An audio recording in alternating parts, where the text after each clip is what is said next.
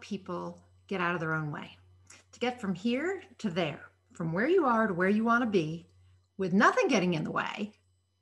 But the thing that's always in the way is you. So we have to get you out of the way so that you can actually be the person you want to be, do the things you want to do, have what you want to have, create what you want, achieve your goals, all those yummy things.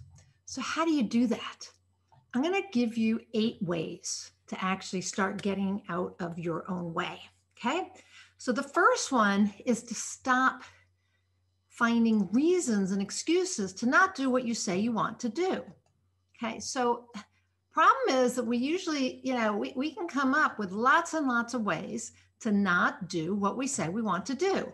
We, we say that life gets in the way, the dog ate the homework, the kid was sick, the car broke down, I had too much work. They sound like reasons, but they're really excuses not to do what you say you want to do. Because if you were committed to what you wanted to do, you would do it.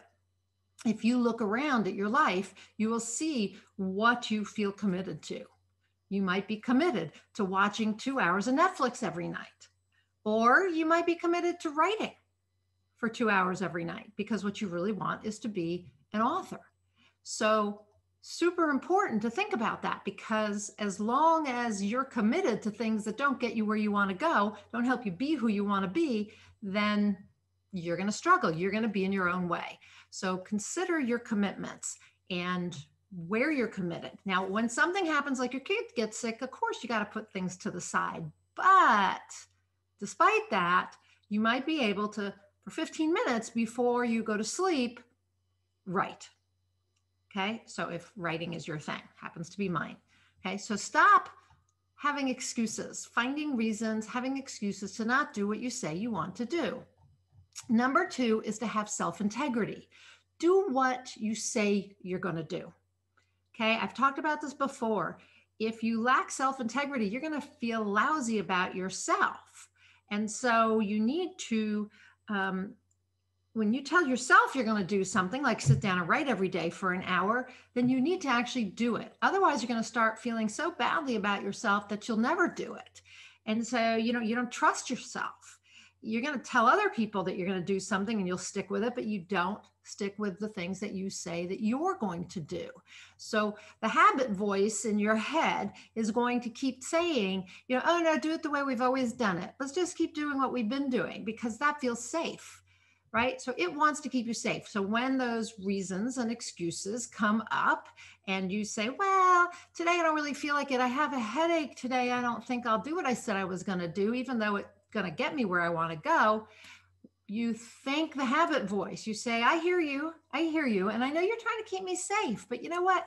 I've got this. I've got this because you do. And then do what you told yourself you were going to do. Okay, number three is to stop controlling every detail. Know the outcome you want.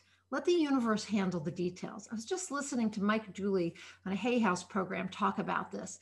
Broad strokes, you know, I want to be happy. I want to um, fulfill my purpose. I want to um, to have great wealth. Just leave it in broad bro- brush strokes, okay? And just know the outcome you want, right? So if you really want to be a writer, then okay, then you know maybe that's you know the outcome, but you don't have to know exactly how you're going to get there, other than maybe writing every day, right? So let the universe handle the details. Then, you know, like I said, just focus on the end result. Then you can add in some details.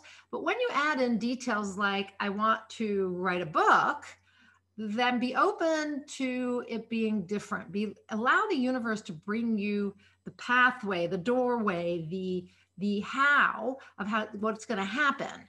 Okay, so you may have it in your head that it's going to be a certain way and happen in a certain time, but that really um, restricts you from from from getting what you want and you're mm-hmm. standing in your own way because you're rigid and you're trying to control everything and you know what they say that if you've got um, you know something you know a broken toy if you're a kid with a broken toy and you're hanging on to it tightly um, and you want your parent to fix it you have to open your hand you have to release it to somebody who can actually fix it and the same goes for the universe your god or whatever you want to call it you have to release the problem you have to release this to to the universe and let it come up with the details Okay. So just, you know, have a broad idea of where you're going and what you want to achieve, your destination, and then leave the rest to someone else. And as I said, it could be that there's something better for you. Often that's the thing. We don't get what we think we want because there's something better for us out there. So, one of the affirmations that I really love to use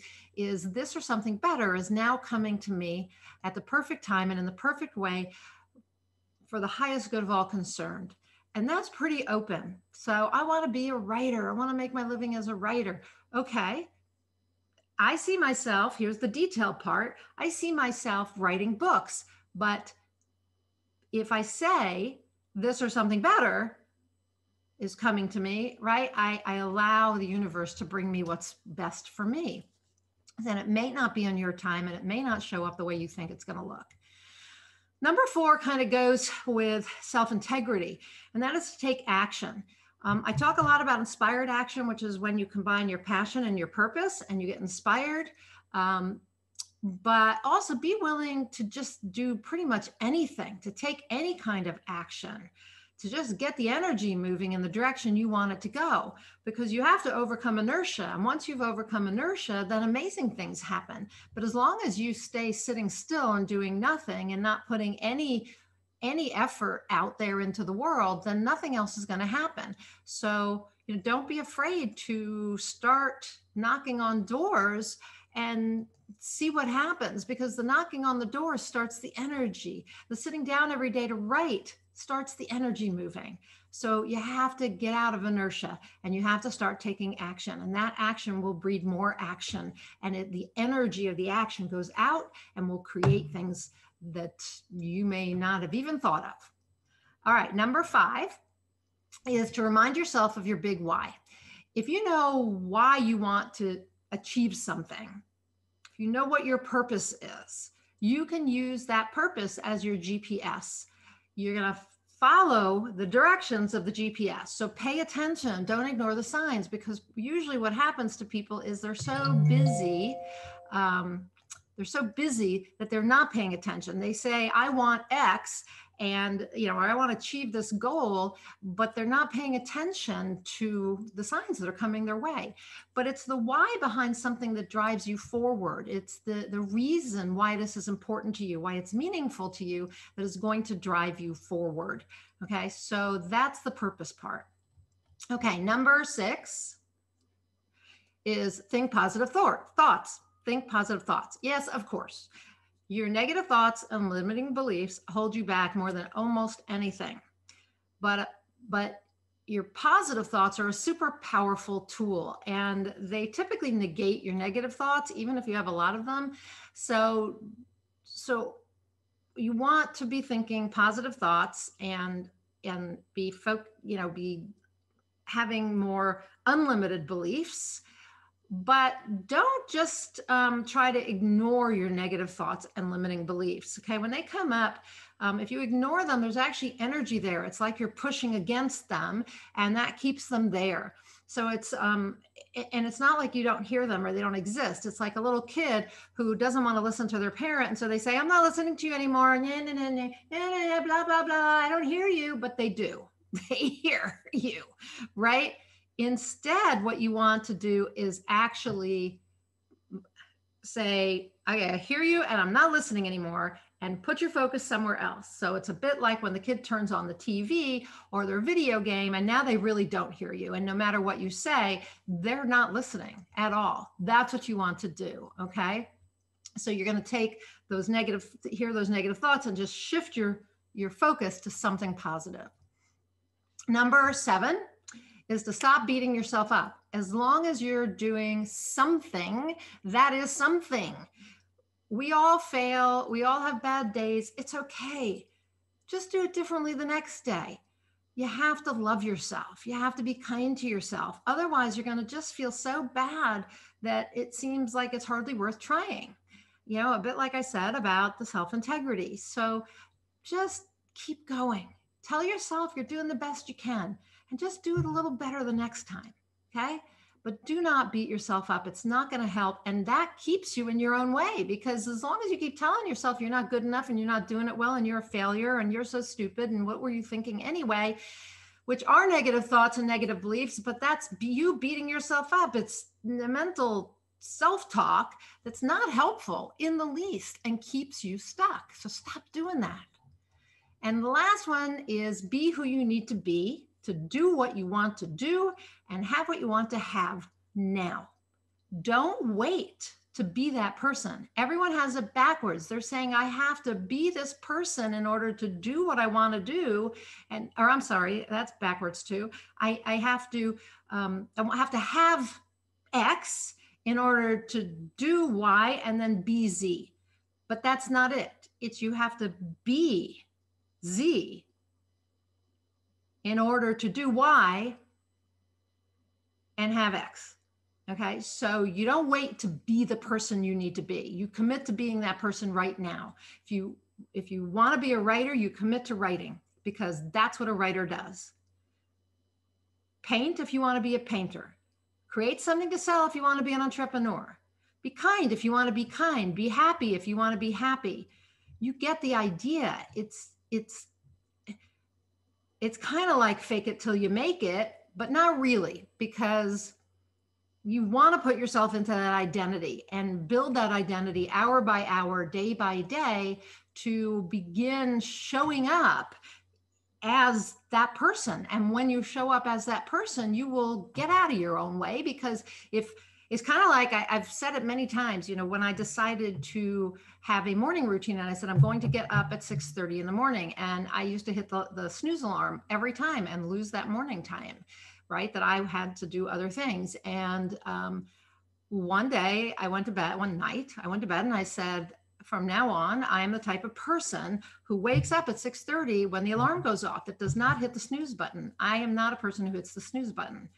And the next morning, alarm went off, and of course, I by habit I wrote hit the snooze alarm, and then I popped awake a little more and I said, I said I wouldn't be that person anymore today. And I'm not that person. And I turned off the snooze alarm and I got up. And I've been doing that every day since. So you have to decide who you want to be. If you want to be a writer, be a writer every day.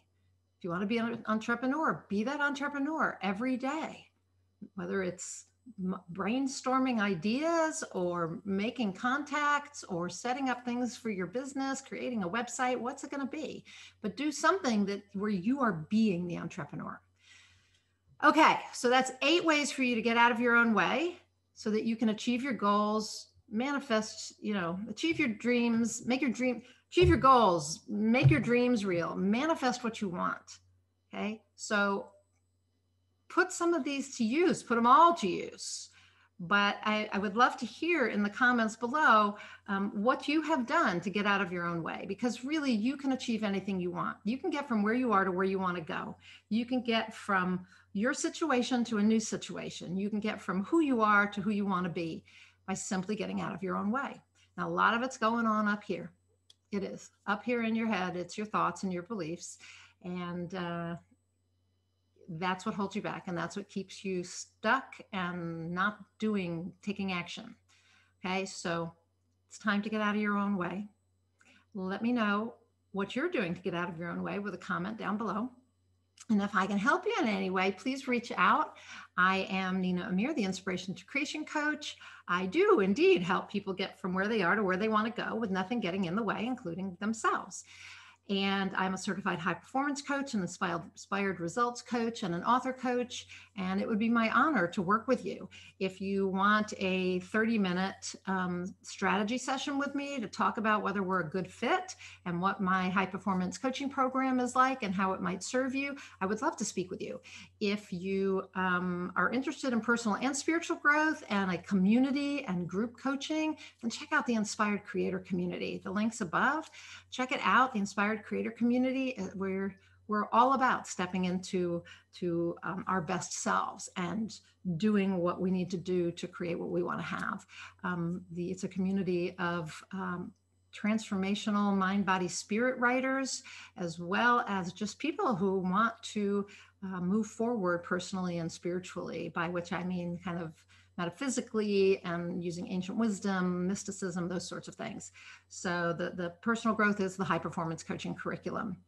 So um, if you fit those criteria you want personal growth you want spiritual growth you want to write a, a inspirational motivational book then the inspired creator community might be just the place for you uh, so check that out the links above and until I talk to you next time, go out there and achieve more inspired results.